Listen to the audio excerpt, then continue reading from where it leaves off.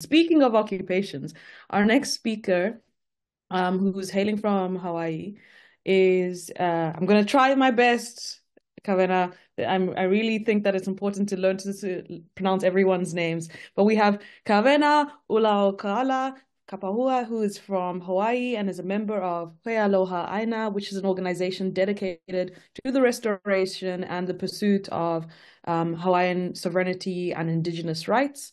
And I think it's particularly important he will be our last speaker for today, is because for those who don't know, in June, we had the Rim of the Pacific exercises, which has been held every year since 1971.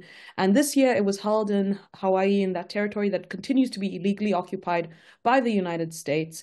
And of course, I think it's a very um, poignant example of the importance of trying to uh, connect ourselves across the region and how one region's occupation is at the detriment of the rest of the world because we saw the participation quite strange, in my opinion, of many countries who have no rim on the Pacific, including the Zionist state of Israel, who's been continuing their um, genocide of the Palestinian people. And so to allow for the occupation or continued occupation of Hawaii and the military exercises that are involved in the Pacific in its pursuit of containing China and undermining other regional forces that are fighting for peace is also a part of our fight to see this as a bigger picture that needs all of us to be involved because um, as we say and I I'm, I'm I've grown up in South Africa and my political um, work has been mostly in the trade union circles and one of the sayings we say is an injury to one really is an injury to all so we end with you Kawena so over to you Mahalo. Thank you for that introduction. Uh, again, thank you everyone for having me here. I'm Kawena Ulo Kala. I'm with Hui Aloha Aina. Uh, we're one of the original Hawaiian independence parties that was founded in 1893 after the overthrow of the Hawaiian Kingdom by the U.S. military. Uh, just to kind of frame today, uh, our history for people who may not be as familiar with it, I want to start today by taking us back to the beginning of U.S. imperialism in Hawaii. Uh, and you know, the U.S. has continuously over the last few decades and even century tried to use Hawaii as the next stage or as the gateway of it in its manifest destiny. Yeah, um, and this all started in 1873 when the U.S. sent General John Schofield on a secret mission here uh, to scout out a new base for the U.S. military in the Pacific with the express goal of using that as a stopping over station to reach China. Um, and to and then you know soon after with the opening of Japan and amongst other things the beginning of U.S. imperialism in Asia. Uh, and so this has really culminated in the perfect storm of um, U.S. imperialism in the Pacific. You know, after after the designation of Hawaii as the prime candidate for a U.S. military base, they overthrew our government uh, in support of a cabal of sugar barons and other capitalist elites, and established Pearl Harbor Naval Station, which is today the command station of the Pacific Fleet. Hawaii is one of the most militarized places in the world. Now we over we host unwillingly tw- over 12 major military installations, including, uh, but not limited to, the headquarters of the Indo-Pacific Command, which is the largest command in the United States military, uh, the largest training facility in the Pacific, Pohakuloa Training Facility. Uh, we host the Pacific Fleet, which is again the largest naval fleet that the United States has, and missile defense stations like the Barking Sands Missile Range on Kauai, as well as numerous radar tracking sites. As the U.S. continues its pivot to Asia, but that also means in that pivot to Asia that started under Barack Obama, that in order to reach Asia, the U.S. must also pivot to the Pacific. And so, you know, the U- European empires, ever since Magellan came through our territory in a very accidental manner, uh, the European empires have always viewed the Pacific as a playground and as a conquest. The U.S. in its pivot now is trying to entirely restructure its fighting force in order to function within this vast expanse that is the Pacific Ocean. You know, the U.S. has always treated the Pacific as an American lake, right? They have Guam on one end, they have California on the other, um, American Samoa to the south, along with Australia, New Zealand, as was mentioned earlier, and the Five Eyes. Um, and the military that it built in the early 90s and just before that to oppress the Middle East is now realizing it's woefully under equipped to confront the realities of an oceanic conflict as it tries to stir up conflict with China. Um, we have a very large Marine Corps uh, base here called Kaneohe Marine Corps Base, which was established upon land that uh, it evicted entire towns from. Uh, they're having to restructure the Marine Corps by getting rid of all of their tanks because there's no point in having tanks on Pacific Islands because there's not a lot of room for them to go and it's very rough terrain. So they have to get rid of their tanks and restructuring as an island hopping amphibious assault force. Uh, they're deploying Predator assassin drones, which are renowned in the Middle East, of course, for their drone strikes. Uh, they're they're basing them here, despite the fact they have a range under a thousand miles, which means they're basically useless for pan Pacific travel or for inter island travel. Um, all to say is that you know as the U.S. continues to beat the war drum of the um, beat the drums of war with Asia, it's woefully underprepared for it, but it's rushing toward it in an effort to sustain its military dominance and its imperialist dominance, and to fund its military industrial addiction. One such way um, that I think Mika did a great job of mentioning earlier is the Rim of the Pacific exercises, or RIMPAC, which just wrapped up at the beginning of this month.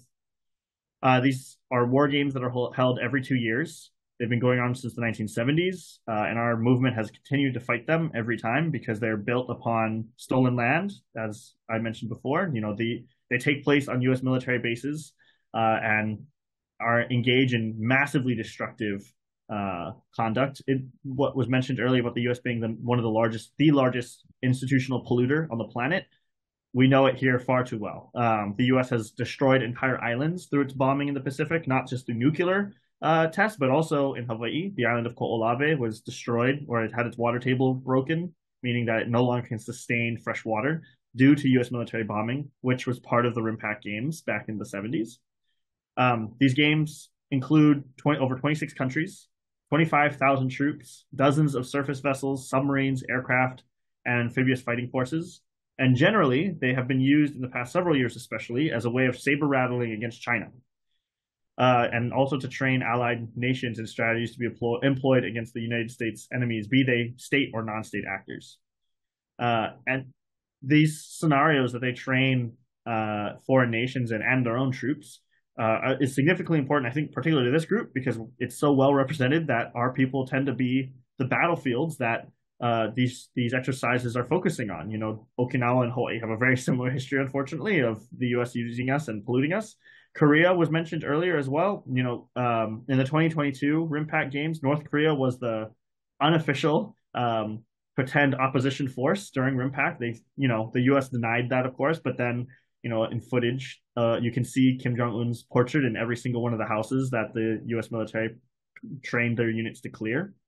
Um, and then even before that, um, the participants practiced uh, a counterinsurgency strategy against the Pacific Island insurgency movement. So they're preparing not just for war in Asia, but preparing to confront indigenous uprisings here in the Pacific, like we're seeing in New Caledonia or Kanaky now that France is currently engaged in and is still ongoing. And I encourage everyone to continue to pay attention because there are still ongoing uh, uprisings there.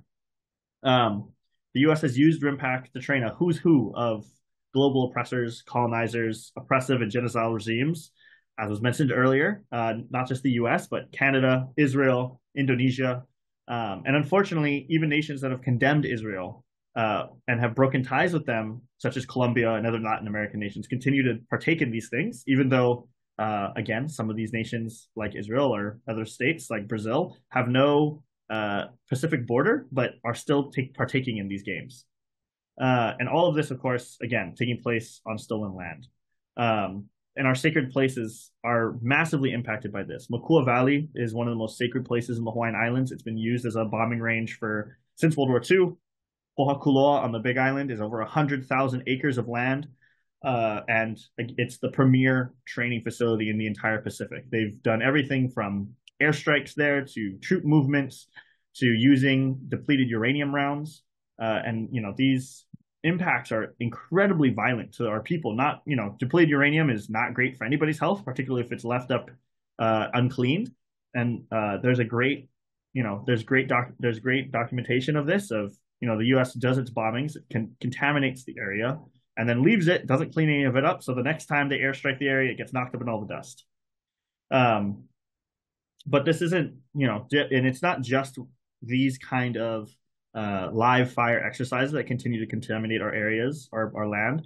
Red Hill uh, is one that's come up in the last several years. The U.S. used to have its premier fueling station here in Hawaii called the Red Hill Strategic Oil Reserve.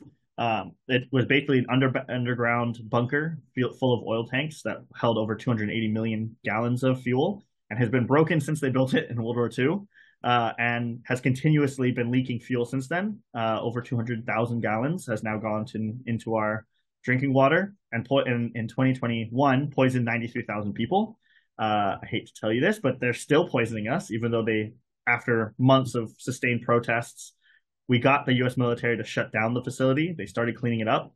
And we, of course, similar to Okinawa, have been met with the horrible uh, realities of PFAS, uh, the forever chemical that is now in our drinking water. Um, and you know, the U.S. has not fully cleaned up our water, no matter what they say. They continue to try to make light of it, make it like it's over. But just earlier this past week, it it came to light that uh, the fuel that leaked out of the facility has now moved in the underground aquifer to a new region and is now contaminating the water of a new region of the island.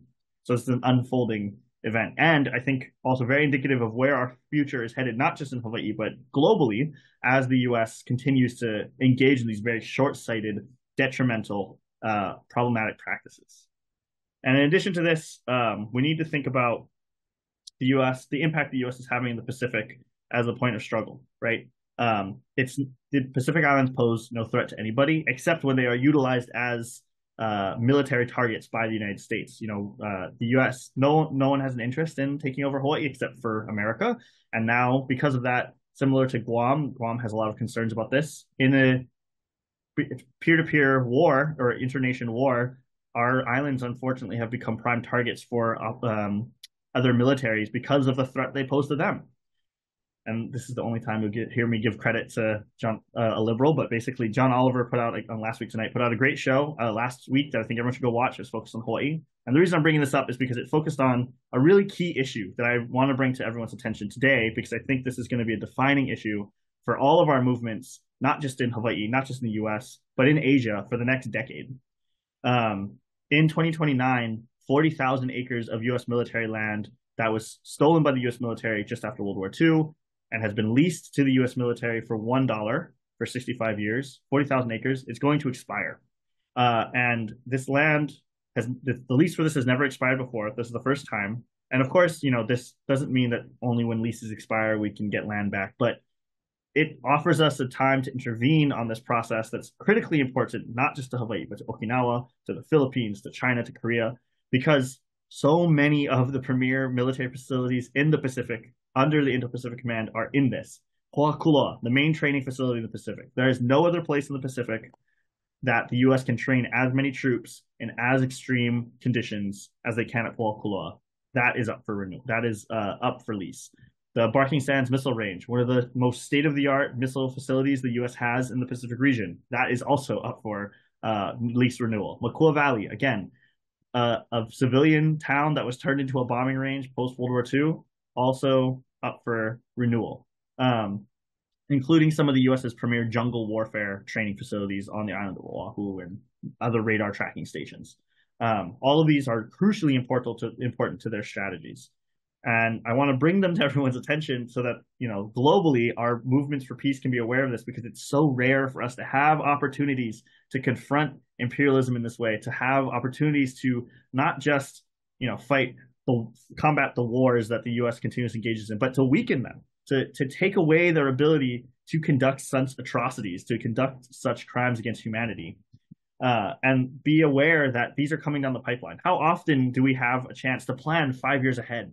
Right? We we ha- so often are forced to confront things as they happen. The U.S. commits an atrocity, it does something, we have to react to it. Now we are gifted with an opportunity to plan, to strategize, to build coalition, to build with each other, to remove these from the card, the card deck that the U.S. has in its hand, and you know remove their ability to put these in other places because some of these are just irreplaceable for them. Um, because and win or lose, this will define probably the next decade of U.S. imperialism as the U.S. continues to move toward conflict with China and with the rest of Asia. Um, these bases that are built on evicted communities, built on sacred cultural sites, built on incredibly critical uh, environmental regions, uh, Superfund sites. It's it is not just a win for the Hawaiian movement for us to get some of our land back, woohoo! Uh, even though it's probably incredibly contaminated, um, but also because that's one less time the Israeli, the IDF can train on how to drop bombs on Palestinian homes. It's one less time that the U.S. can test intercontinental ballistic missiles that would have the capability of reaching China or Korea. Um, it's one less place that the U.S. can store its forces that will not absolutely in no way fit in any other Pacific island, be they uh, Okinawa or Guam or anywhere else. It's it's one less place they can host a fleet the size they do at Pearl Harbor because there's no other um, harbor large enough in the Pacific for them to host such a size of a force. Um, and it's off an opportunity for us as Hawaiians to not just return our people to their homes, which they've been denied for over 65 years, and prior to that, but also a chance for our people to return to their farmlands to make ourselves self-sustainable again because the U.S. military has destroyed much of our farmland and we now import 92% of our food. Uh, but a chance for us to reclaim so many of our sacred cultural sites that have been taken from us um, that are that hold such a key point not just in our practices today but in our cosmology of our our, our understanding of the world as they are um, and so you know the the scale of this i want to make sure people see and i know you know some of the people on here have been in communication with people in hawaii and their movements have been in solidarity with the hawaiians for a long long time. Um, and like i said this this uh, moment for us is crucially important because it allows us to define what kind of world we're going to not just live in but what, what kind of world we're going to pass on. You know we have a chance here to really shift the balance of power um, and you know determine will they have their strength significantly reduced by seizing back this territory, or will they have consolidated control uh, in, as they march toward war? These are the stakes, not just for us in the Pacific, but for and not just for Americans in the imperial core, but for Asia. You know, um, one of the things that we say in the Hawaiian movement is not we don't have just a responsibility for ourselves, for our ancestors, and for our grandchildren and children to get free, to get our independence back, to retake control of our land and our sovereignty, so that we may you know, perpetuate that and expel imperialist forces from our land. But we have a responsibility to everyone in the world whose lives, whose movements, whose communities are continually endangered and harmed by the presence of the US military on our land and the way they use it to train and expand that harm to others, whether it be uh, West Papua, whether it be um, the Philippines, whether it be Palestine, whether it be anywhere in the world. And so, you know, we have a chance to really change the future for all of us, and not just for us, but for those who connect to us. Thank you. Thank you. Thank you so much. I think that's actually a, a great space to end, but I still want to give every speaker maybe one or two minutes if there's any kind of concluding remarks, but um, incredibly important intervention. And it wouldn't be a real gathering of political organizers if people didn't give you a list of tasks to do. And what I heard from you, Kawena, is that um, since August 16th just passed, and we're working towards August 16th in 2029 when the expiration of, of, these different leases will happen. It sounds like to me, you've told No Cold War that we have to have an annual event where we raise these issues and think about how we can build solidarity around this campaign to end those leases, return the lands to their rightful inhabitants and the fact that this has global implications for those of us who are under the boot of US imperialism across the world and whose oppression is directly tied to those of the people in Hawaii.